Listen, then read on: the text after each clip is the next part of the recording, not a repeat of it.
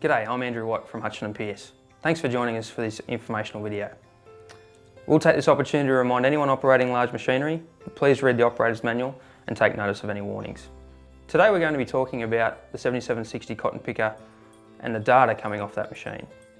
We'll look at the importance of good data capture, the different types of data coming off the machine. We'll look at some different scenarios you may be faced with in the field in terms of screen setup and picker setup. And we'll finish by looking at some helpful tips and tricks on how to best set up your picker to capture the most accurate data. Let's begin with the different types of picker data. When looking at the different types of data coming off the 7760 cotton picker, we can look at it in two different categories. The first one is normal harvest documentation. And that harvest documentation utilises the screen in the machine, the receiver on the roof, and the mass flow sensors located behind the cotton air ducts. The second one I want to talk about and want to mainly focus on today is harvest identification cotton, or also referred to as HIDC. Now harvest identification cotton is an extra controller on the machine and it utilises the RFID reader on the round module. Uh, it reads the round module tags on the cotton module itself and records information in the screen in a text file format. Now that text file captures a variety of information including latitude, longitude, the serial number of that module ID, uh, the client, farm, field, variety, as well as the GIN or the, uh, the producer ID. So this text file is very important because it allows us to communicate with the GIN in the right format that they're after when we're booking our modules in. Now let's look at the different screen setup scenarios you may be faced with. We'll start off talking about the um, base scenario if you don't have a screen or, or a harvest identification cotton through to when we do have harvest identification cotton and the latest technology built in. Okay, first scenario would be if we had no screen in the machine uh, or we had a screen in the machine but we had no harvest identification cotton. Now in that particular case we would need to manually locate and manually uh, catalogue our modules in our fields. Remember, each wrap roll does have 24 wrap portions per roll, but we can't go and look at the first round module that we've done for that field and our last and then try and extrapolate the data in between. Uh, each wrap roll is going to have a different uh, serial number than the, than the next, so they're not going to be sequential.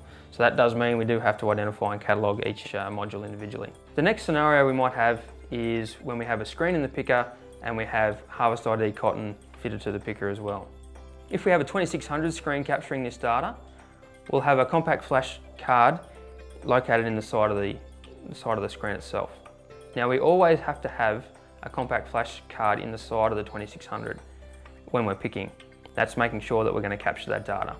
You can pull that compact flash card out and hand it off to the, the grower or the farm manager.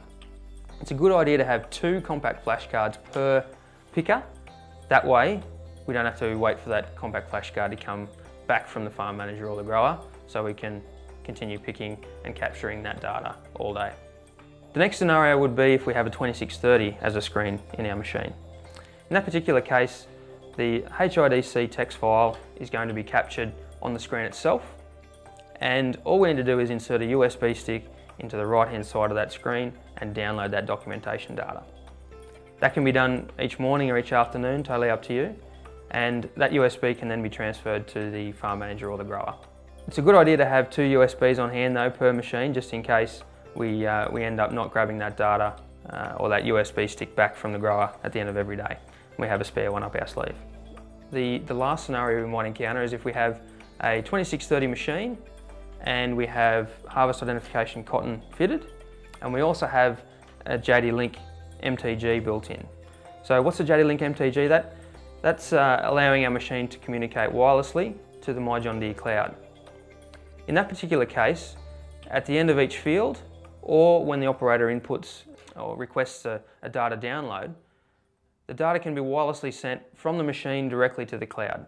From there, either the GIN or the grower can access that file and there's no need for a transfer through USB stick. Finally, let's look at some best practices when setting up our machine. Now this will be similar between a 2600 and a 2630 as the applications will be similar. We'll look at setting up our documentation task first to make sure that we have our correct information set up in our GS2 or GS3 page And then we'll go into the application controller and we'll set up our HIDC or our harvest identification cotton to make sure that it's capturing the correct data.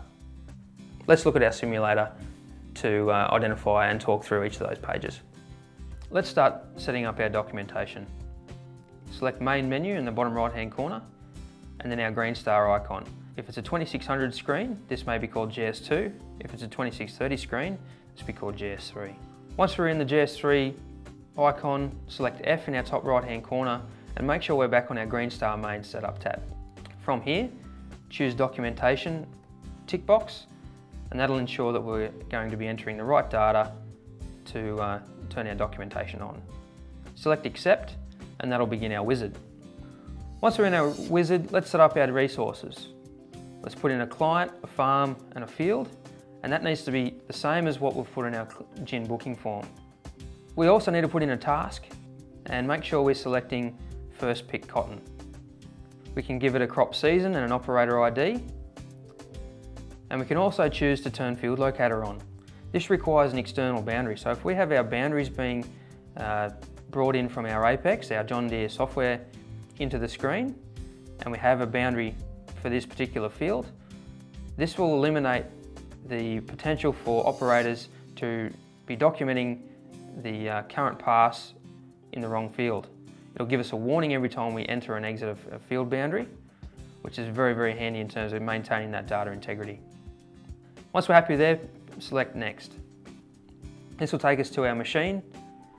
If we're plugged into a picker, it'll automatically select the cotton picker from our drop-down box give it a machine model and a machine name, and that should populate our offsets on the top.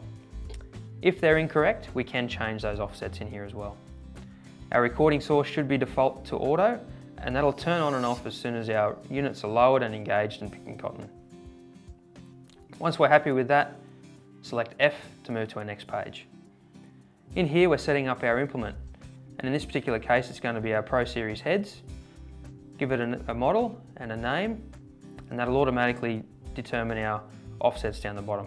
We can change our widths and our offsets from this page as well if they're not correct. Also, we can turn overlap control on in here as well. So if there are any times where we're going to be not taking a full width, so we're going to maybe have two picking units going down two rows that have previously been picked, we can turn overlap control on, which will automatically shut off those two picking units and make sure that we're capturing good quality yield data. Once we're happy with that, choose our F button to move to the next page. Next, we're setting up our operation for our documentation. If we've chosen first, first pick cotton, this will automatically go to harvest. Select change harvest settings, give it a cotton crop type, a brand and a variety, and also a, an estimated gin turnout percentage. Once we're happy with that, select F and that should tell us our setup is complete. At any stage, we can go back and change those settings by going down our icons on our right hand side of our screen through our resources, our equipment, and even our documentation task.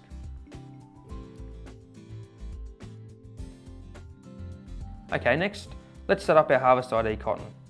Depending on the software version running, you may see application controller located in your tasks or your icons or you may also see Harvest ID Cotton as a controller here.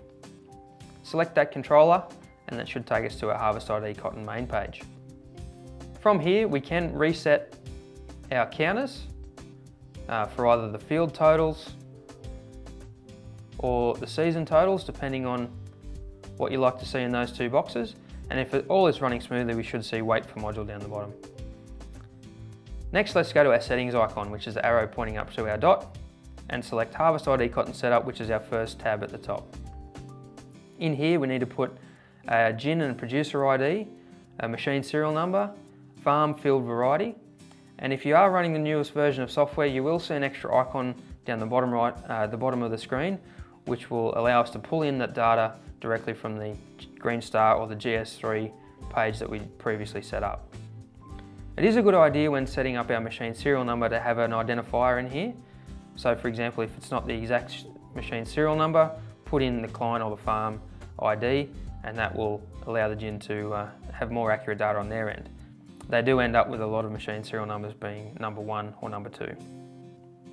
Once we're happy with that and we've got entries in those fields, go back to our main page. Thanks for joining us today. I hope you learned something. If you have any more queries or questions, feel free to contact us at Hutcheon & Pearce TecSight on 02 59 245 or visit us at hutcheonpearce.com.au. Hutchinson Pearce TecSight, technology enabled customer support with a vision to keep you going.